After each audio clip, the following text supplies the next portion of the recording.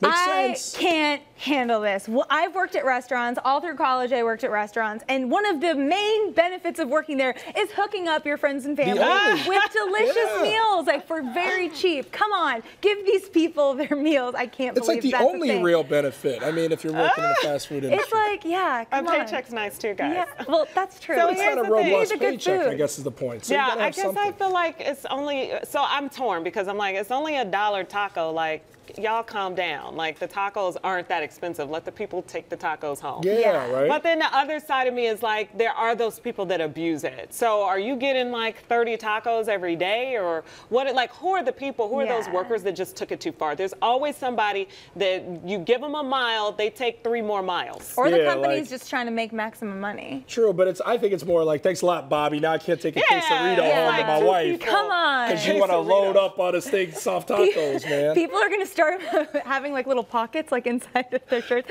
They're gonna like buy it for here, pretend to eat it, and then yeah, right. stash it and bring it home. Yeah. I don't I know. imagine. This is a really hard one because I, I do think there should be perks for employees. But Yes. again, Yes. we're not the ones running this company, and there's margins, there's bottom lines, and it's all about the dollar if you're running a company. I mean, do you want to be the popular one, or do you want to be the one that runs a successful business? And I don't think it's out of line to say, sorry guys, you can't just take home a bunch of free food to your family. I know you're not going to like me very much for this, but I'm trying to make money here. That's true, It's a but then all the employees can just go to Chipotle and be able to take home their burrito to their friends and had family. Guacamole from Chipotle? Yeah, That's I think it's that's, decent. That's For why they it's could take it home because we're paying so much money in guacamole. it's making for all the up for all the tacos people take You home. like Yeah. that guacamole? I don't mind it. I like their chips too. It's like a little lime. Yeah, little the chips salt. are- the the chips are guacamole is good. It's the queso, which is kind of iffy. Yeah. So Taco Anyway, Bell, we're are talking we, a lot about food today. are we condemning Taco Bell for this one, or does it kind of make sense?